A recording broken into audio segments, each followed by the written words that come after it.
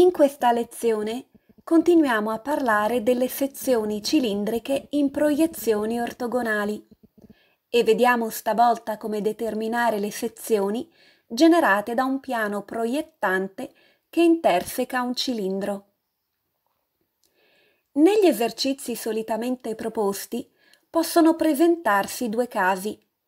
Piano proiettante in prima proiezione, cioè perpendicolare al PO, e piano proiettante in seconda proiezione, cioè perpendicolare al PV. E a seconda di quale sia il piano proiettante in questione, la sezione cilindrica generata può risultare molto diversa. Cominciamo prima, poiché è il caso più frequente, a vedere cosa accade se il piano secante è un piano proiettante in PV. In questo caso vale la pena di considerare cosa accade anche nel terzo piano di proiezione, cioè sul PL.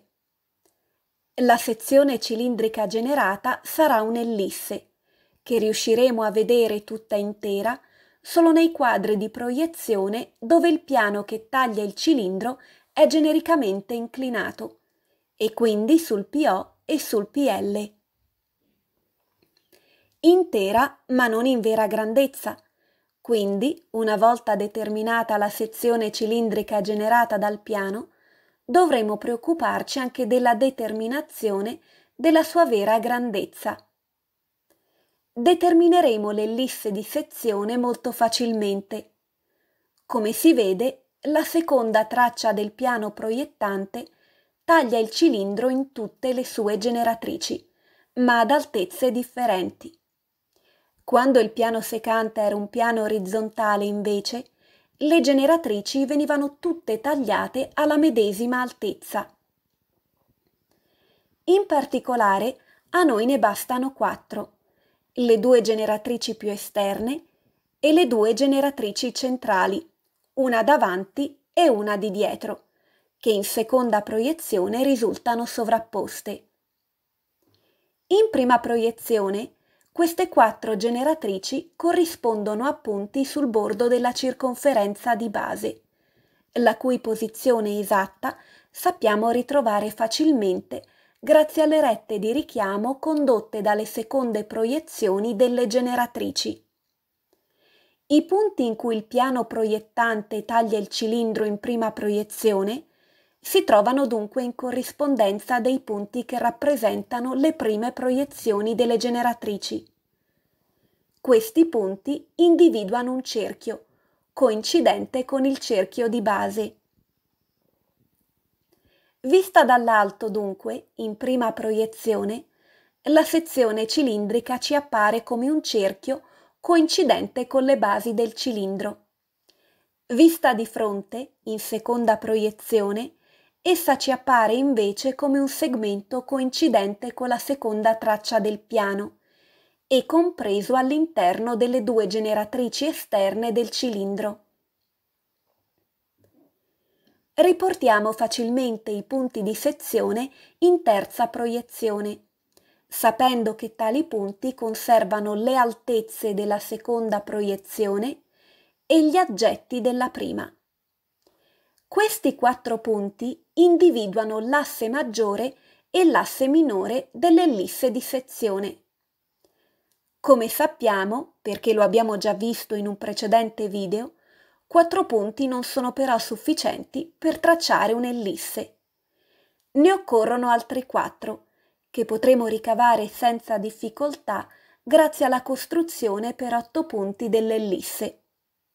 Tale costruzione è illustrata passo passo in un video precedente di questo canale YouTube.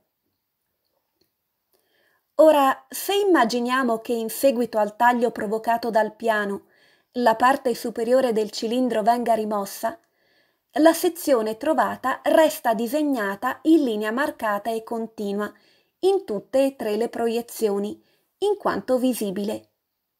Dovremo invece tracciare in linea continua e sottile la parte superiore del solido in seconda proiezione e in terza proiezione, in quanto non più esistente.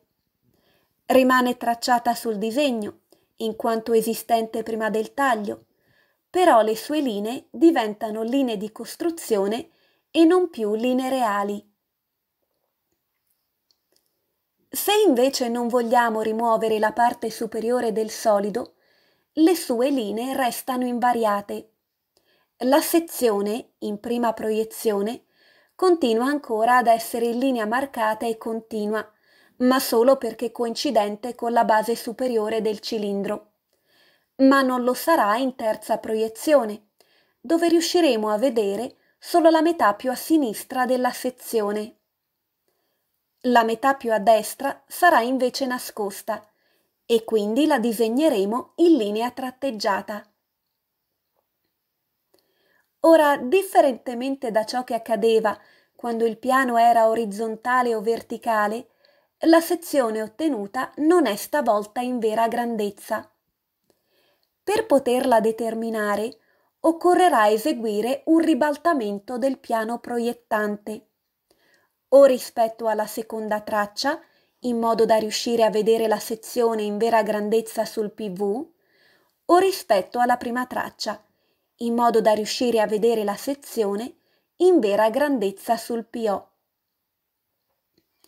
Di questo argomento abbiamo però già avuto modo di parlare in un video precedente che potete ritrovare all'interno di questo canale YouTube e nelle dispense relative alla determinazione della vera grandezza di una sezione sferica generata da un piano proiettante, ragion per cui possiamo tralasciare questo argomento in questa sede. Ci manca ancora di vedere come determinare lo sviluppo del cilindro una volta avvenuta la sezione, se immaginiamo di tagliare la superficie laterale del cilindro lungo una sua generatrice e poi di svilupparla.